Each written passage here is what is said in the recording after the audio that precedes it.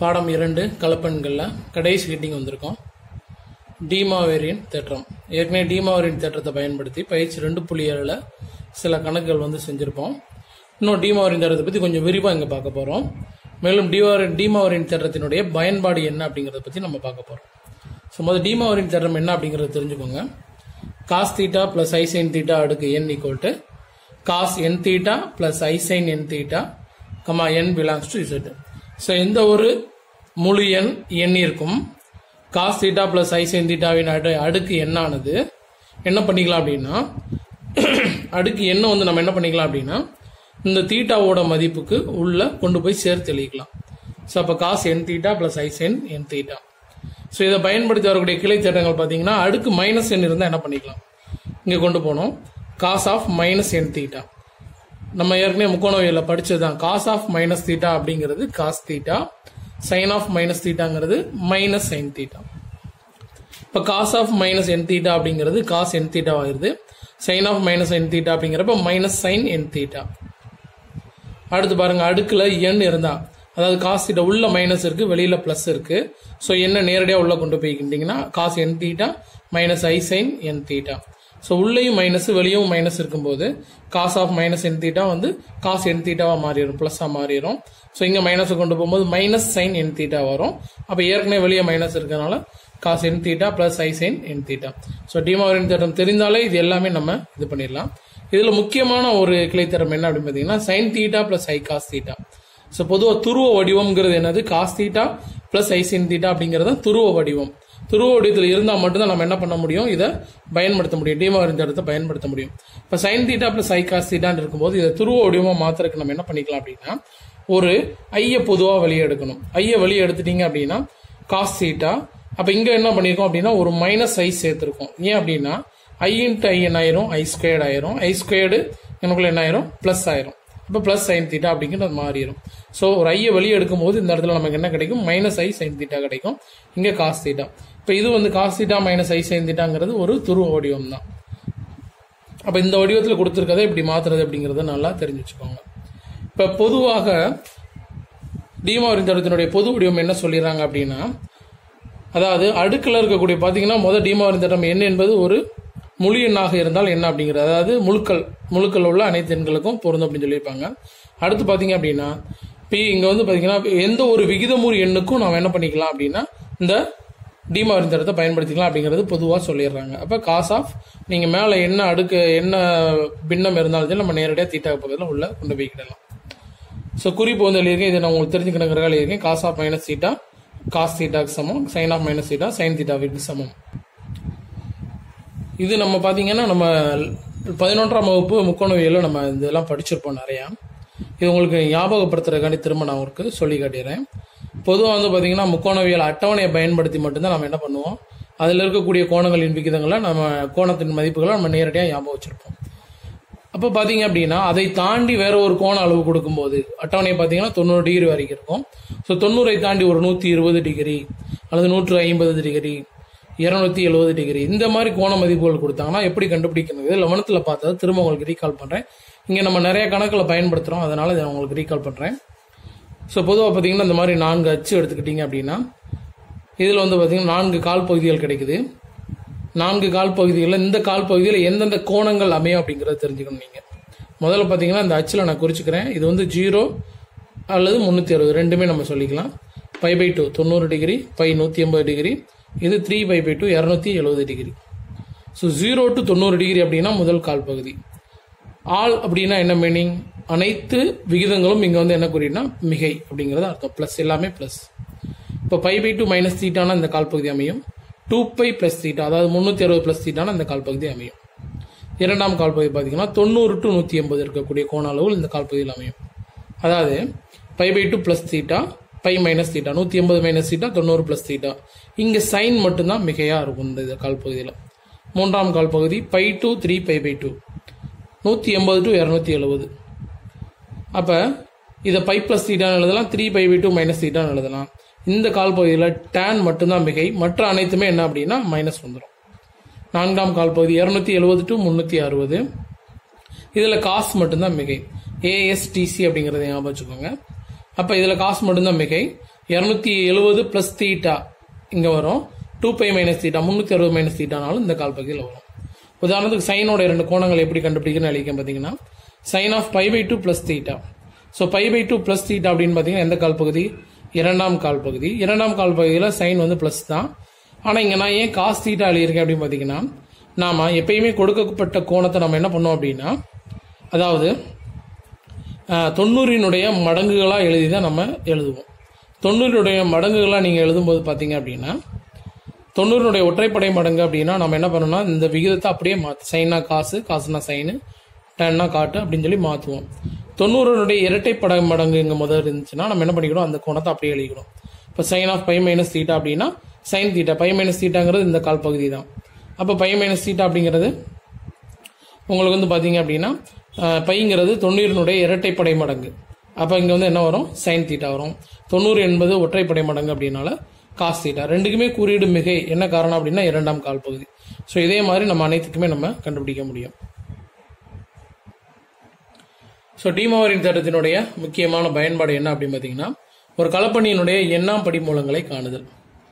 ஒரு கலப்பணியினுடைய எண்ணாம் படிமூலங்களை எந்த படிநிலைகளில் காணலாம்? அந்த படிநிலைகள் என்ன அப்படிங்கிறத சொல்கிறேன் பாருங்க. ஸோ முதலாவதாக அந்த கலப்பன் வந்து என்ன வடிவத்தில் இருக்கும் அப்படின்னா துருவ வடிவத்தில் இருக்கணும் கட்டாயம். துருவ வடிவத்தில் இல்லாமல் செவக வடிவத்தில் கொடுத்தாங்கன்னா நீங்கள் துருவ வடிவத்துக்கு முதல் மாற்றணும் ஸோ துருவ வடிவத்தில் இருக்கணும். அதுக்கடுத்து என்ன பண்ணணும் அப்படின்னா தீட்டாவோட டூ கே பை சேர்க்கிறோம். ஏன்னா டூ கே பை அப்படிங்கிறது பார்த்தீங்கன்னா பொதுவான வீச்சு. அதனால தீட்டாக்கில் எந்த கோணங்க அளவுகள் இருந்தாலும் அதோட டூ கே பை சேர்க்கிறோம். அடுத்ததாக பார்த்தீங்க அப்படின்னா அடுக்கு அதாவது டிமாரின் தேட்டத்தை நேரடியாக பயன்படுத்துறது. அதாவது வந்து உங்களுக்கு வந்து பார்த்தீங்கன்னா பொதுவாக நீங்கள் என்ன படி மூலங்கள் அப்படின்னா அடுக்கு வந்து ஒன்று பை என் அல்லது என்த் ரூட் அப்படின்னு சொல்லி நம்ம சொல்லலாம். அடுக்கு ஒன் பை என் அல்லது என்த் ரூட் அப்படின்னு சொல்லி சொல்லலாம். ஸோ அப்போ அடுக்கு ஒன்று பை என் அப்படிங்கிறப்ப நம்ம என்ன பண்ணுறோம் அந்த அடுக்கை வந்து நம்ம நேரடியாக உள்ளே கொண்டு போகிறோம் எதை பயன்படுத்தி உள்ளே கொண்டு போகிறோம் டிமாரின் தேட்டத்தை பயன்படுத்துகிறோம் ஸோ துருவ வடிவமாக இருக்கணும். டூ கே பையை முதல் சேர்க்கணும். அடுத்து டிமாவின் தேட்டத்தை பயன்படுத்தணும். ஸோ டூ கே பை அப்படிங்கிறப்ப நம்ம எண்ணாம் படி மூலங்கள் அப்படின்னா இதுக்கு வந்து எண் மூலங்கள் இருக்கும். அந்த எண் மூலங்களை கண்டுபிடிக்கிறதுக்கு கேக்கு நம்ம மதிப்புகளை பருகிட்டால் நமக்கு வந்து கிடைக்கும்.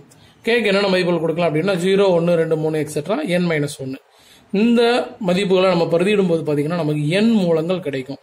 இப்போ அதுக்கு அடுத்து பிரதியிட்டால் என்ன ஆகும்? இப்போ என் மைனஸ் ஒன்றுக்கு அடுத்து பார்த்தீங்கன்னா நீங்கள் என்ன பிரதியிட்டீங்கன்னா திரும்ப உங்களுக்கு ஏற்கனவே வந்த ஒரு மூலம் தான் திரும்ப உங்களுக்கு விடையாக கிடைக்கும். என் பிளஸ் ஒன்று என் பிளஸ் ரெண்டு நீங்கள் எதை பிரதியிட்டாலும் உங்களுக்கு ஏற்கனவே வந்த மூலங்கள் திரும்ப கிடைக்கும். ஸோ இப்போ ஜீரோ டு என் மைனஸ் ஒன்னை பிரதியிட்டீங்கன்னா இதனுடைய படிமூலங்களை கண்டுபிடிக்கலாம். என்ன படிமூலங்கள் கண்டுபிடிப்பது பொதுவான வடிவம். அடுத்து உதாரணத்துக்கு இப்போ பார்த்தீங்க அப்படின்னா ஒன்றினுடைய எண்ணாம்படி மூலங்கள் என்ன அப்படிங்கிறத நம்ம பார்க்க போகிறோம் ஒன்றினுடைய எண்ணாம்படி மூலங்கள் தெரிஞ்சுக்கிறதுக்கு முன்னாடி இந்த நான்கு மதிப்புகளினுடைய துருவ வடிவத்தை நீங்கள் வந்து பார்த்தீங்கன்னா ஒர்க் அவுட் பண்ணி கண்டுபிடிக்கணுங்கிற அவசியம் இல்லை. நம்ம நேரடியாக இப்படி நீங்கள் தெரிஞ்சு வச்சுக்கிட்டா போதுமானது.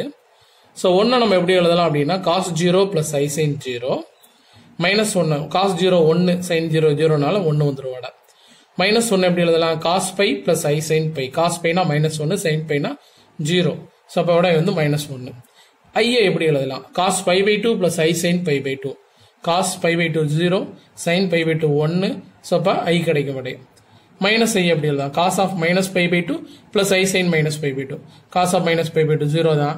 Sine of minus pi by two என்னன்னா மைனஸ் ஒன்று மைனஸ் ஒன் இன்ட்டு ஐ வந்து என்ன வந்துடும் மைனஸ் ஐன்னு சொல்லி வந்துடும் ஸோ இந்த நான்கு துருவ வடிவங்களையும் நீங்கள் நல்லா ஞாபகம் வச்சுக்கிடணும். ஸோ இப்போ ஒன்றின் எண்ணாம்படி மூலங்கள் எப்படி கண்டுபிடிக்கிறதுன்னு பார்க்க போகிறோம் ஒன்றின் எண்ணாம்படி மூலங்கள் காணுதல்.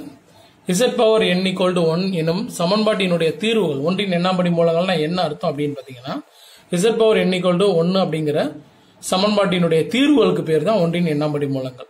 ஸோ மூன்றாம் படி மூலம் அப்படின்னு பார்த்தீங்கன்னா அதனுடைய மூன்று தீர்வுகள் கிடைக்கும். அதுதான் மூன்றாம் படி மூலங்கள்.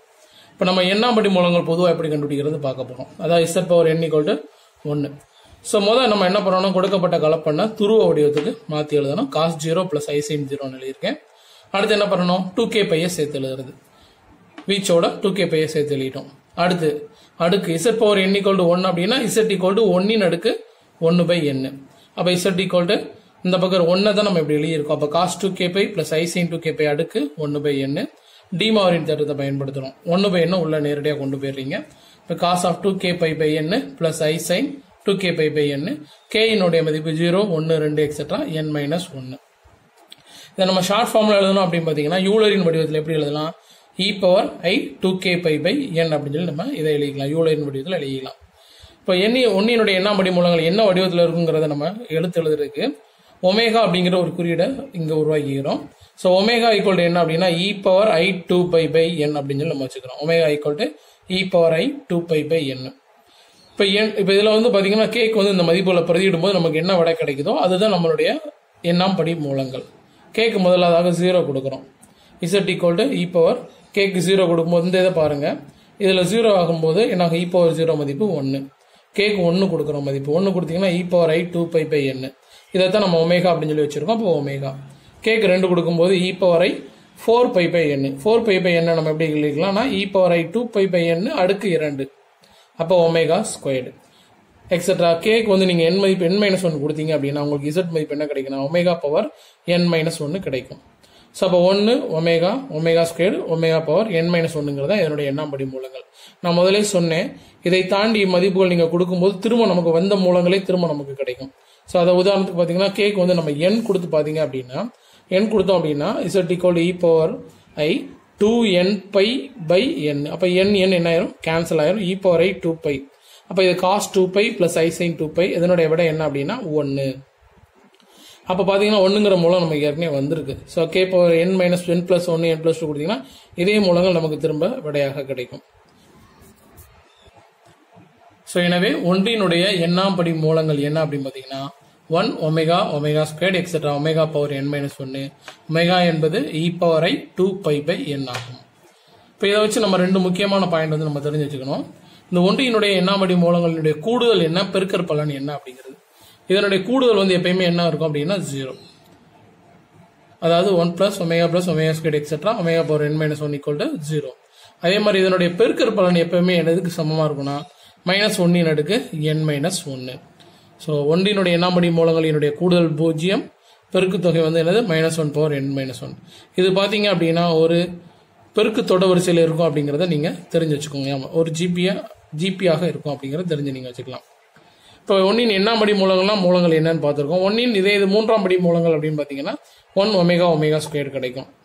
இப்போ ஒமேகா ஈக்குவல் என்ன? E power two pi by three n equal three அதனால ஒமேகாங்கிறது என்ன இருக்கும் இங்கே? E power two pi by three இருக்கும். நான்காம் படி மூலங்கள் என்னன்னா ஒன்னின் அடுக்கு ஒன்று பை நாலு. ஒன்னின் அடுக்கு ஒன்று பை எண் எப்படி நம்ம கண்டுபிடிச்சோமோ அதே ஸ்டெப்ஸ் தான் இதுக்கும் நம்ம பயன்படுத்தணும். One omega omega square omega cube இந்த நான்கு மூலங்கள் கிடைக்கும். ஒமேகாவுக்கு பதிலாக இந்த மதிப்புகளை நீங்கள் பிரதியிடணும் பிரதியிட்டு கிடைக்கக்கூடிய விடை தான் நம்மளுடைய மூலங்கள். அது ஷார்ட் ஃபார்மாக நம்ம எழுதும்போது எப்படி எழுதிக்கிறோம்னா one omega omega square one omega omega square omega cube அப்படின்னு சொல்லி எழுதிக்கிறோம். எப்படி இந்த கூடுதல் பெருக்கு தொகை எண்ணாம் படி மூலங்களுக்கு பொருந்துமோ அதே மாதிரி மூன்று படி மூலங்கள்னால் நான்கு படி மூலங்களால் பொரு- பொருந்தும். இதனுடைய கூடுதல் வந்து பூஜ்ஜியம். பெருக்கு தொகை மைனஸ் ஒன்னின் அடுக்கு என் மைனஸ் ஒன்று ஸோ கடைசி டாப்பிக்கினுடைய அறிமுகம் முழுவதும் இப்போ நம்ம பார்த்துருக்கோம். இந்த அறிமுகத்தை திரும்ப திரும்ப ரெண்டு தடவை நீங்கள் கூட நீங்கள் போட்டு பாருங்கள் ஸோ இதை பயன்படுத்தி வரக்கூடிய பயிற்சி கணக்குகளை அடுத்து நம்ம பார்க்கலாம்.